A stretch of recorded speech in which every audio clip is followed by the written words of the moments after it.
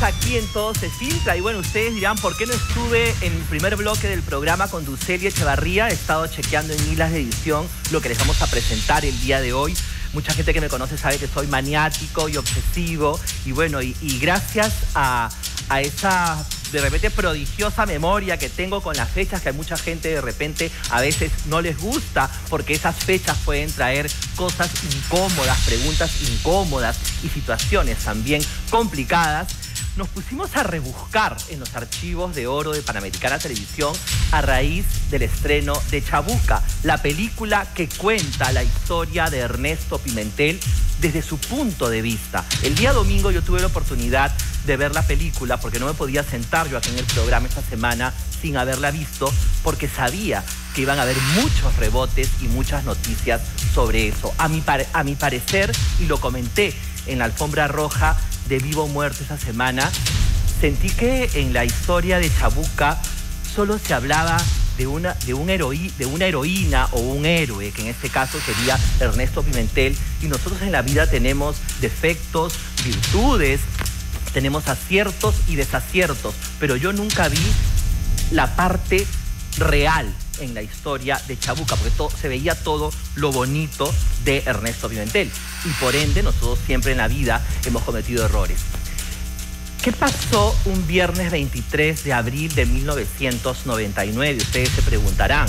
Magali Medina entrevista a Alex Broca en frecuencia latina, porque así se llamaba para mucha gente, la gente joven que de repente no sabía ni siquiera quién era Alex Broca.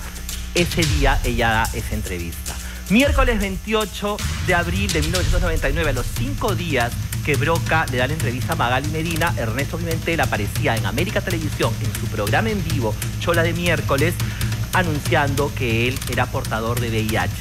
¿Qué fue después de esto? El domingo 2 de mayo, la reportera de ese entonces, Pamela Bertis, que trabajaba en Panorama, presentó un reportaje exclusivo con una entrevista a Alex Broca, que hoy se la vamos a presentar. Vamos a ver entonces las imágenes del programa Panorama del domingo 2 de mayo de 1999, donde Pamela Vertis entrevistó a Alex Broca. Adelante con las imágenes. Hasta el viernes 23 de abril, poco se sabía sobre un muchacho llamado Alex Broca. Ese día, aquellos televidentes distraídos no llegaban a comprender por qué este jovencito desconocido no solo confesaba ante millones de telespectadores su homosexualidad, sino que, de paso, ponía al descubierto las preferencias sexuales de quien se ha convertido en una muy querida figura de la televisión nacional, Ernesto Pimentel, más conocido por su personaje, La Chola Chabuca.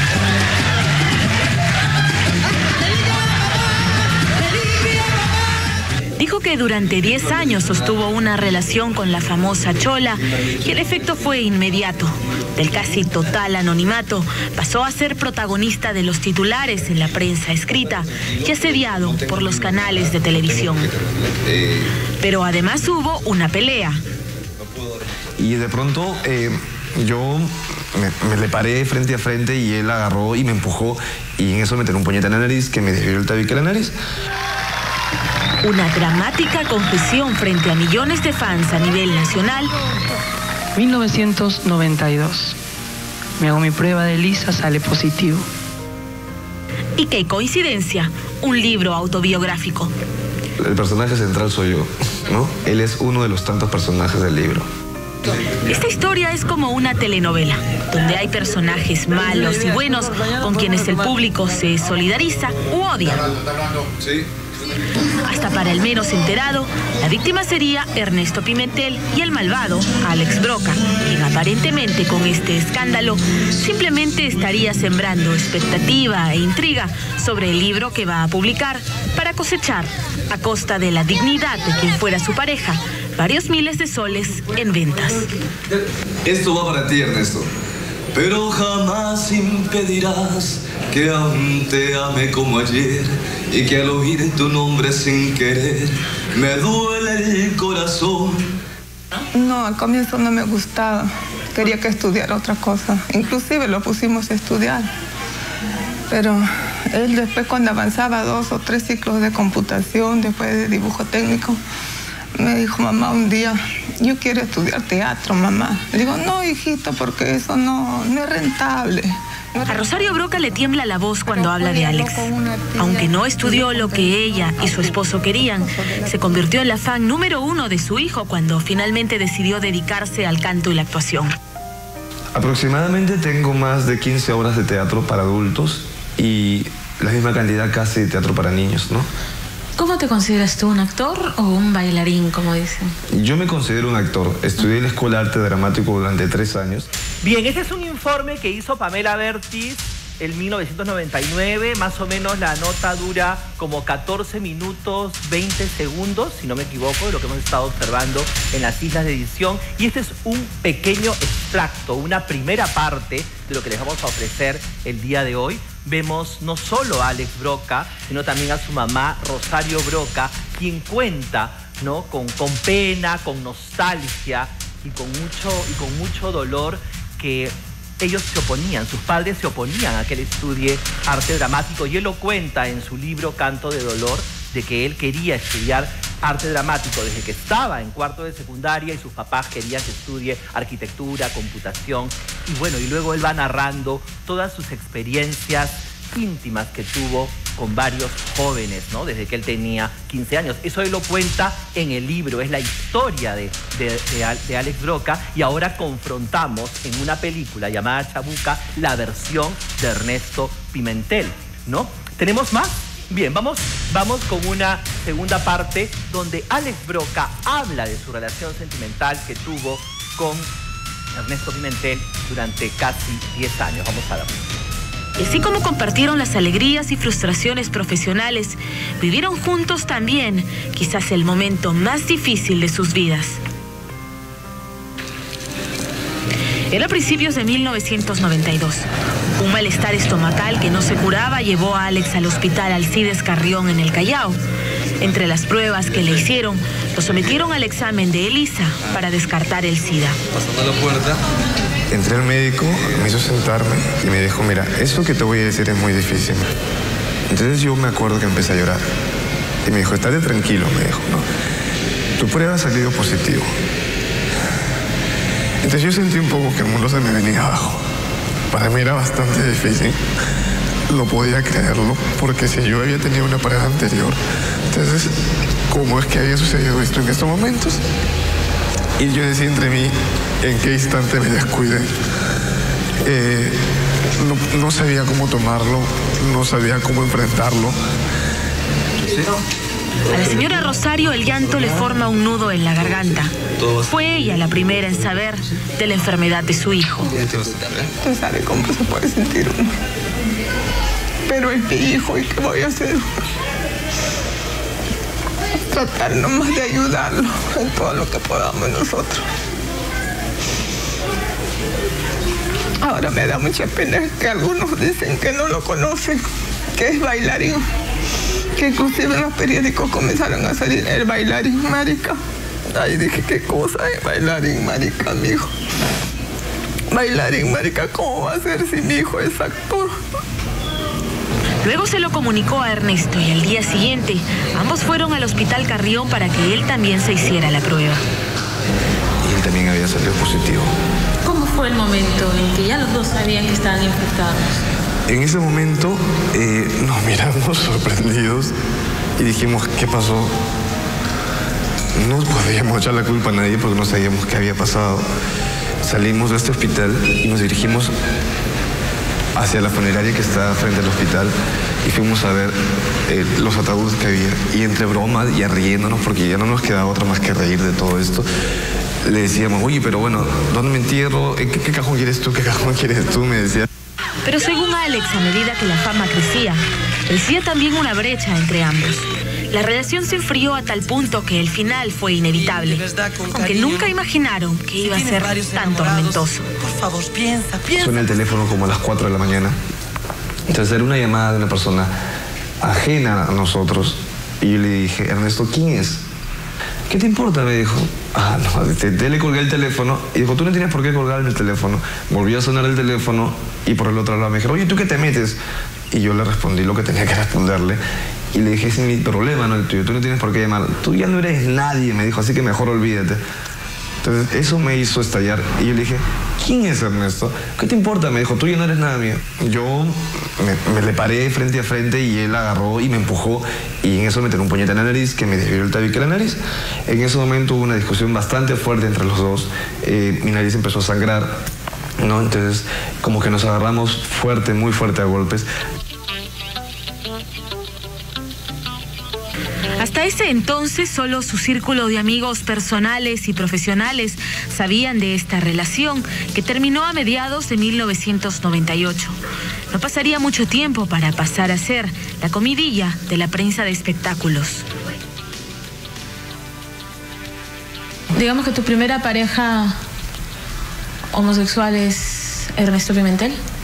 Mira, en el libro te vas a enterar de muchas cosas. No puedo contarte muchas cosas porque sería un poco venderte todo lo que, lo que la gente quiere saber, ¿no? Pero es una de las personas que más ha, ha marcado un poco mi vida, ¿no?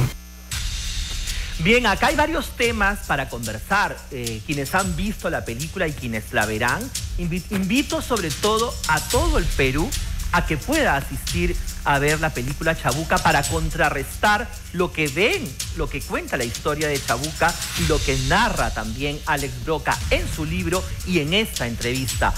Eh, a mí me causó mucho dolor viéndolo justo con mi productora esta entrevista. Yo de verdad que no, no recordaba este informe de Pamela Bertis. Hemos estado buceando y buceando en los archivos de Panamericana hasta que logramos obtener esta información.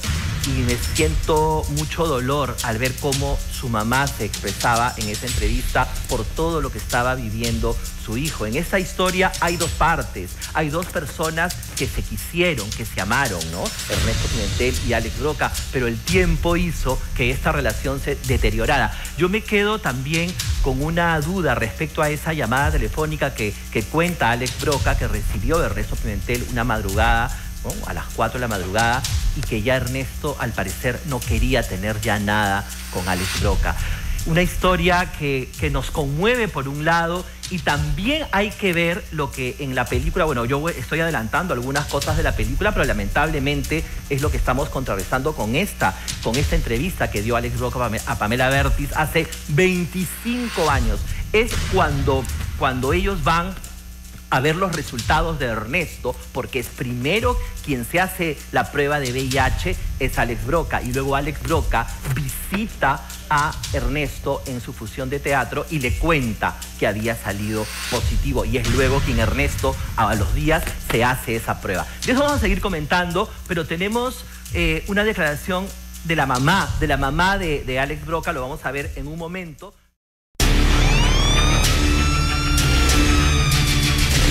Tenemos más y vamos a escuchar ahora el declive de la relación de Alex Broca y Ernesto Pimentel contado hace 25 años por Alex Broca para Panorama. Adelante. Curiosamente, el libro ya estaba listo cuando Broca decide admitir públicamente que había sido la pareja de Ernesto Pimentel en horario estelar ante la televisión nacional. Finalmente, un empujoncito a través del escándalo que sabía iba a generar no le vendría nada mal. Suena un poco canallesco Claro. hablar de otra persona que ni siquiera ha admitido públicamente su homosexualidad, porque hasta ese momento Ernesto Pimentel no había dicho nada sobre eso. Claro, pero eh, como te repito, fui, yo estaba hablando de mi persona, ¿no? Y cuando me preguntaron quién había sido mi pareja, no tuve otra acción que decirlo, ¿no?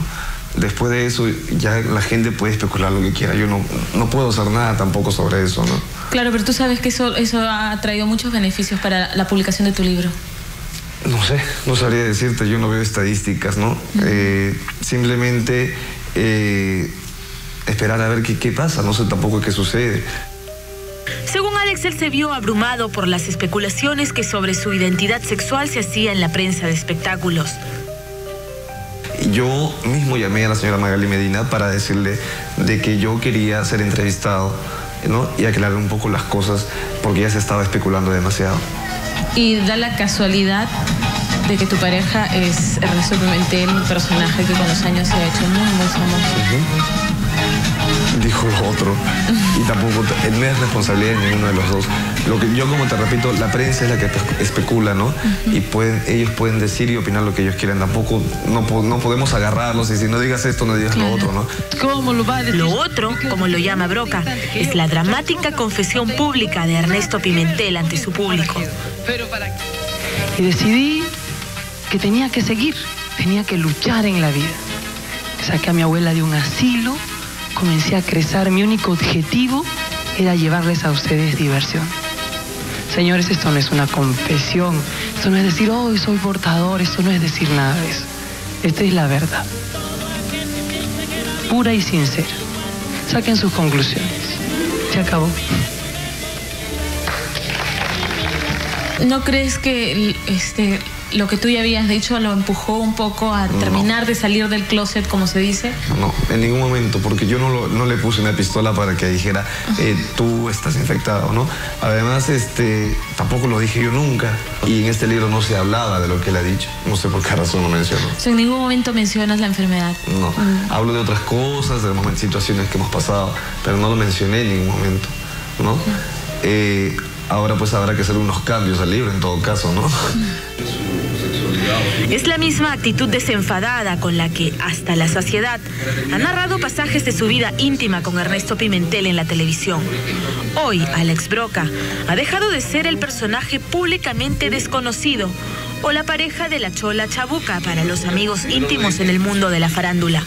Hoy, estratégicamente se ha ubicado en el centro de una tormenta que en muchos solamente genera repudio. Tranquilo. Por supuesto, es un chatajista.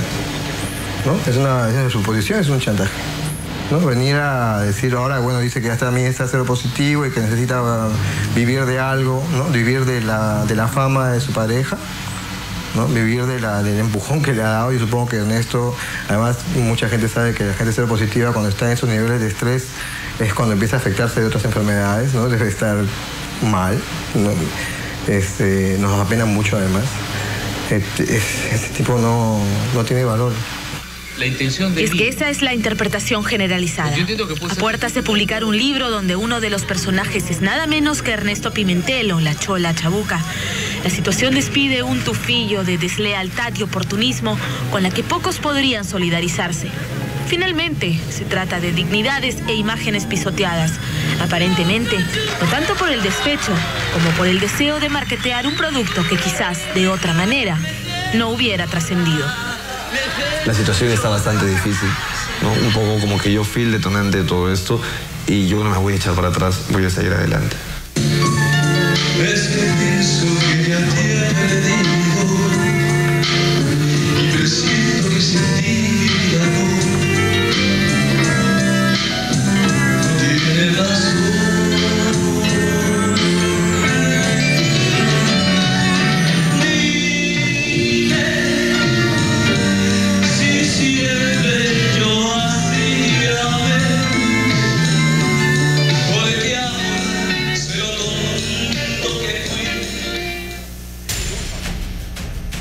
El declive de la relación de Ernesto Pimentel y Alex Broca, contado por el mismo Alex Broca, como les digo, hace 25 años son estas, estas imágenes de esta entrevista. Y nosotros tenemos acá dos puntos de vista, porque hay mucha gente que se está quedando con lo que ha visto de repente en la película. En la película, lo que yo he percibido, y lo ha percibido muchísima gente, es que Alex Broca era el antagonista. Veíamos a un Alex Broca, Broca en la película ¿no? que era el que le tenía envidia a Ernesto Pimentel porque ya empezaba sus primeros pasos en televisión y recuerdo claramente aquí en Panamericana, en Risas y Salsa, a él le dan la secuencia de la Locha Buca que subía tanto los puntos en el rating que le ofrecieron el programa Chola de miércoles en el otro canal en América Televisión. Hay escenas en las cuales se ven en la película a un, a un personaje, el, que interpreta a Alex Broca, totalmente envidiando la nueva situación que tenía Ernesto Pimentel y también que le pedía dinero para esto, que le pedía dinero para el otro. Ernesto Pimentel es quien se encarga de hacerle la operación a la nariz a Alex Broca, algo que él tanto quiso y tanto añoraba porque él quería ser protagonista en telenovelas, en series y alcanzar también la fama. Pero sí yo me quedo con lo de, con lo de Chabuca la película, pero también tenemos que escuchar estas declaraciones que le dio hace 25 años Alex Broca a Pamela Bertis, donde, bueno, él cuenta su parte de la historia. Tenemos también lo que dijo la mamá de Alex Broca, la señora Rosario Broca. Escuchémosla. Y en eso me un puñete en la nariz que me desvió el tabique de la nariz. Una dramática confesión frente a millones de fans a nivel nacional. 1992. Me hago mi prueba de Lisa, sale positivo. Y qué coincidencia, un libro autobiográfico. El personaje central soy yo, ¿no? Él es uno de los tantos personajes del libro. Esta historia es como una telenovela, donde hay personajes malos y buenos con quienes el público se solidariza u odia. Para el menos enterado, la víctima sería Ernesto Pimentel y el malvado, Alex Broca, quien aparentemente con este escándalo simplemente estaría sembrando expectativa e intriga sobre el libro que va a publicar para cosechar, a costa de la dignidad de quien fuera su pareja, varios miles de soles en ventas. Esto va para ti, Ernesto. Pero jamás impedirás que aún ame como ayer y que al oír tu nombre sin querer me duele el corazón. No, al comienzo no me gustaba. Quería que estudiara otra cosa. Inclusive lo pusimos a estudiar. Pero él después cuando avanzaba dos o tres ciclos de computación, después de dibujo técnico, me dijo, mamá, un día, yo quiero estudiar teatro, mamá. Le digo, no, hijito, porque eso no, no es rentable. A Rosario Broca le tiembla la voz cuando habla de Alex. Aunque no estudió lo que ella y su esposo querían, se convirtió en la fan número uno de su hijo cuando finalmente decidió dedicarse al canto y la actuación. Aproximadamente tengo más de 15 obras de teatro para adultos y la misma cantidad casi de teatro para niños, ¿no? ¿Cómo te consideras tú, un actor o un bailarín, como dicen? Yo me considero un actor. Estudié en la Escuela de Arte Dramático durante tres años. No llegué a terminar la carrera, pero el sindicato de actores me nombró como actor profesional. Justamente haciendo teatro para niños, conoció a quien se convertiría en su pareja durante 10 años, Ernesto Pimentel. ¿Vivieron juntos? Hemos vivido juntos, sí, es cierto. ¿Cómo fue la relación? ¿Fue una buena relación? Sí, buena relación común y corriente como en toda relación, ¿no? Eh, de todo tipo, o sea, momentos felices, momentos que salíamos, nos divertíamos, momentos de discusiones, ¿no? Todo, todo, como en toda relación. ¿Estabas enamorado? ¿Muy enamorado? Fue una relación eh, que se dio y que simplemente concluyó. Duró 10 años y Alex vio crecer profesionalmente a Ernesto.